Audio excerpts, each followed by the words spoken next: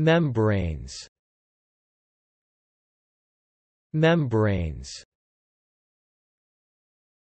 Membranes. Noun. Definition. A thin sheet of tissue or layer of cells acting as a boundary, lining, or partition in an organism. Example. The nucleus is a distinct region with a membrane around it. Thanks for watching this video. Be sure to subscribe to our channel to get more free learning resources.